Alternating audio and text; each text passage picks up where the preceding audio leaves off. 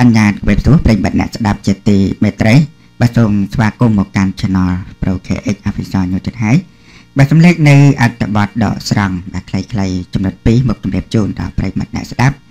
ដែលអត្ថបទទី1ប្រពន្ធខំខ្ចីលុយគេ10000ដុល្លារយកមករកស៊ីបែរជាត្រូវប្តីយកទៅឲ្យស្រីអស់ទើបតាមតាន់បែបនេះអញមកចឹងទៅវិញហេតុអីបានជា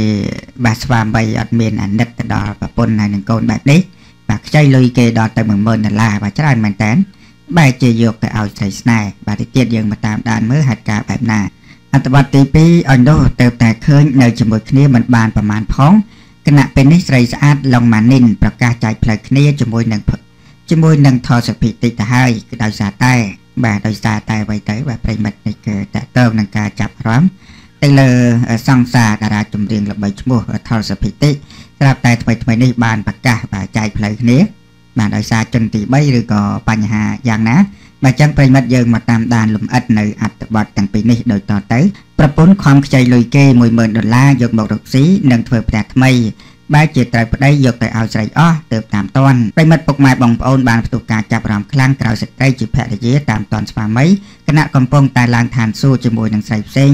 នៅនឹងផ្ទាល់ភ្នែកធ្វើឲ្យនាងទប់អារម្មណ៍មិនចប់ ទឹកភ្នែកហូរទៅស្រាក់ទុញយំសោកស្ដាយទន់ខ្លួនដោយសេចក្តីហួសចិត្តជាទីបំផុតគណៈនាងសង្ស័យប្តីរបស់ខ្លួនអស់រយៈពេលជាច្រើនខែមកហើយ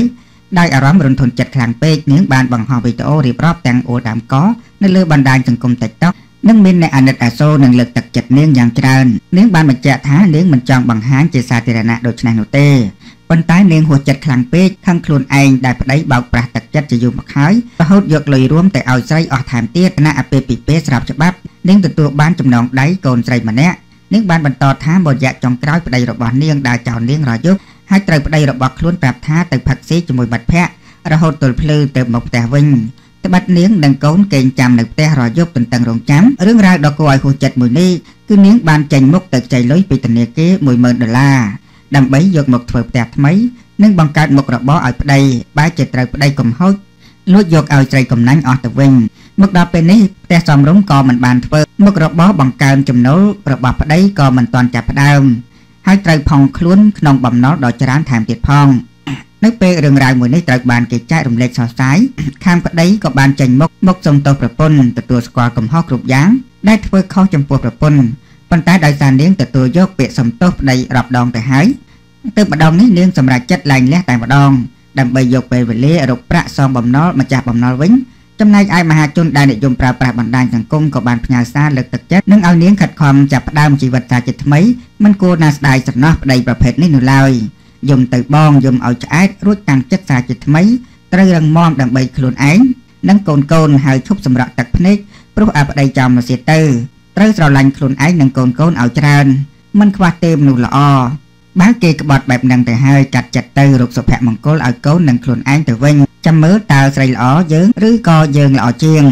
កាត់ចិត្តទៅអូនគេមានស្រីទៀតយើងរកប្តីទៀត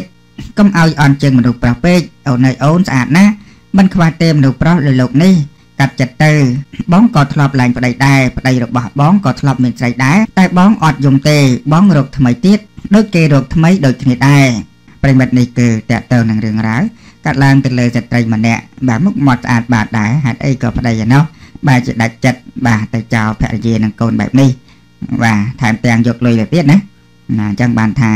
មនុស្សប្រុសបាទកុំសូវទុកចិត្តពេកអរគុណប្រិមិត្តសូមបញ្ចប់នៅអត្ថបទនេះហើយយើងមកតាមដាននៅអត្ថបទមួយទៀត អនុទៅតែឃើញនៅជាមួយគ្នាមិនទាន់បានប្រមាណផងគណៈពេលនេះស្រីស្អាតឡុងម៉ានីនប្រកាសចែកផ្លូវគ្នាជាមួយនឹងថលសុភិតិទៅហើយនេះជារឿងមួយដែលចាប់អារម្មណ៍និងភ្ញាក់ផ្អើលខ្លាំងមែនទែននៅសកចុកអ្នកលក់អនឡាញរូបស្រស់ឡុងម៉ានីនដែលតែងតែបង្ហាញភាពស្និទ្ធស្នាលផ្អែមល្ហែមសុចស្វិតយ៉ាងស្អិតប្រមុតជាមួយនឹងតារាចម្រៀងប្រុសមានមុនស្នេហ៍លោកថលសុភិតិតាមរយៈរូបភាពនិងវីដេអូយ៉ាងច្រើនហូរហែដែលអ្នកនាងបានបង្ហោះជារឿយៗនៅលើបណ្ដាញសង្គមនានាដោយភ្ជាប់ជាមួយនឹងសំណេរយ៉ាងចាក់ដោតបេះដូង ស្រាប់តែថ្មីថ្មីនេះបានប្រកាសជាសាធារណៈនៅលើបណ្ដាញសង្គមរឿងចែកផ្លូវគ្នាជាមួយនឹងតារាចម្រៀងប្រុសរូបនេះក្រោយទទួលរងការរិះដោយទឹកបាក់ទំនប់ពីសំណាក់អ្នកនិយមប្រើប្រាស់បណ្ដាញសង្គមការប៉ັດណារាល់ពេលបង្ហាញរូបសុចស្វិតនិងស្និទ្ធស្នាលជាមួយគ្នា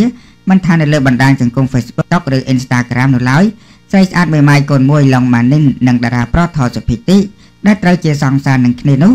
តែងតែទទួលរងការរិះគន់ឥតឈប់ពីសំណាក់អ្នកនិយមប្រើប្រាស់បណ្ដាញសង្គមមួយចំនួន ថាមិនស័ក្តិសមនឹងគ្នាយ៉ាងណាក៏ដោយក្នុងនោះក៏មានអ្នកគ្រប់គ្រងជាច្រើន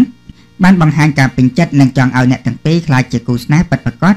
និងច្បាស់លាស់ជាមួយគ្នាទៀតផងដោយឡែកបើក្រឡេកមកមើលអ្នកប្រើប្រាស់បណ្ដាញសង្គមមួយចំនួន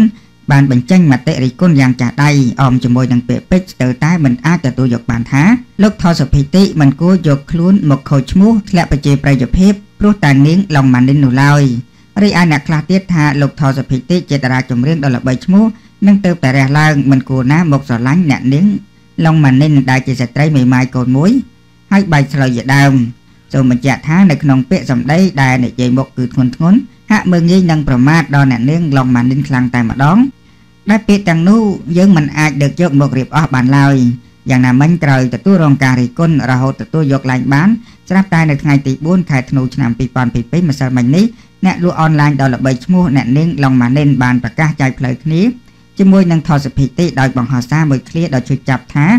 ចាប់ផ្ដើមពីមនុស្សដែលមិនស្គាល់គ្នាសោះចំក្រោយคล้ายជាអ្នកដតីស្រីស្រស់ម៉ានីនបានបង្ហោះសារបន្តទៀតថាឡើងបានទៅពួកខ្ញុំទៀតហើយណានៅចរានទៀតខ្ជិលផុសពាក្យធ្ងន់ធ្ងរពេកសម្រាប់ខ្ញុំ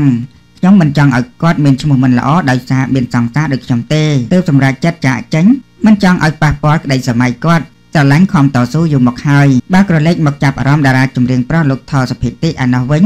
លោកក៏បានបង្ហោះបទចម្រៀងមួយបទមានចំណងជើងថាបាត់បង់អ្នក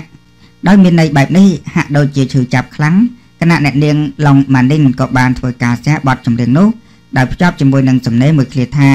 បញ្ហាដែលយើងជួបគ្មានអ្នកណាដឹងច្បាស់ជាងពួកយើងទេបែបហ្នឹងទៅល្អហើយទន្ទឹមនឹងទទួលការរិះគន់ជាហោហាយឥតឈប់នោះរហូតមកដល់ការប្រកាសចែកផ្លូវគ្នាមហាជននិយមប្រើប្រាស់បណ្ដាញសង្គមក៏ដូចជាអ្នកគ្រប់គ្រងមួយចំនួនធំក៏បានបង្ហាញការពេញចិត្ត និងចង់ឲ្យអ្នកទាំងពីរក្លាយជាគូស្នេហ៍ច្បាស់លាស់នឹងគ្នាផងដែរមតិជាច្រើនបានលើកឡើងថាសិទ្ធិរបស់ពួកគាត់ទាំងពីរនាក់ទេ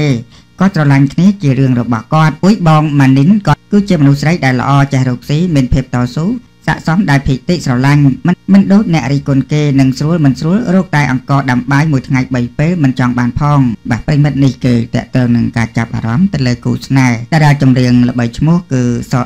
ថោសុភិតិនិង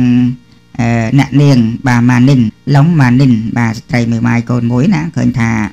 សាច់ស្អាតបាទខ្ចោសខ្ចីដោយបណ្ដោជែកបាទធ្វើម៉េចអានេះជាគោស្នេហ៍ហើយបាទអរគុណប្រិមិត្តសម្រាប់ការតាមដាននៅអត្ថបទខ្លីទាំងពីរនេះ